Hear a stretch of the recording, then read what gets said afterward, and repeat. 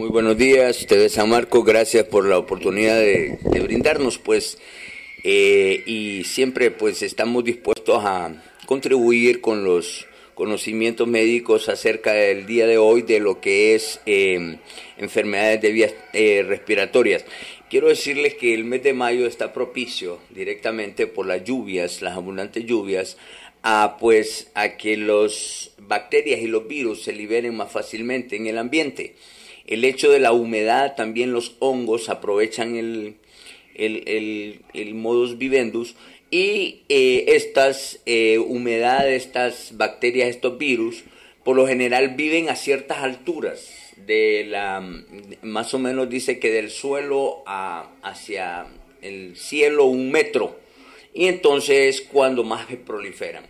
los cuidados que hay que tener con las enfermedades de la vía respiratoria alta es que si su niño está tosiendo, si su niño tiene fiebre, si su niño está con dificultad respiratoria, si su niño está decaído, está vomitando, está con diarrea, pueden ser un sinfín de, bacterias y virus las cuales las pueden estar afectando. Que sea el médico eh, el indicado para determinar cuál de ellos dos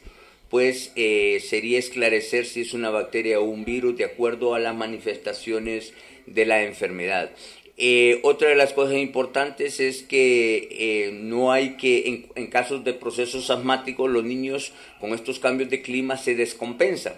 entonces, y se sobreinfectan. Además, eh, las infecciones de las vías, vías digestivas, no solo vías respiratorias, no que la vía digestiva, si ustedes han escuchado hablar del mal del mayo, es porque en este mes llueve bastante las bacterias, la gente aún así sale a los ríos a bañarse por las calores y esto hace que la contaminación sea eh, mayor. Eh, recomendaciones médicas, que no anden descalzo, que las, personas pues eh, se protejan bajo las lluvias, que se, eviten esa, esa, esa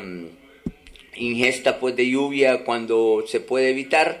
eh, evite evitar tomar agua contaminada, que es lo más una de las cosas más importantes. El, agua hoy, recuerden, tiene que ser eh, potable o si no eh, envasada, ya que es agua de ríos, no se puede tomar. ¿verdad? Y otra de las cosas es que no ande descalzo, no se quede con el pelo mojado, abríguese bien y cualquier eh, síntoma en el cual la persona sienta, ya sea fiebre, tos, eh, decaimiento, malestar general, eh, pues hay que recurrir al médico.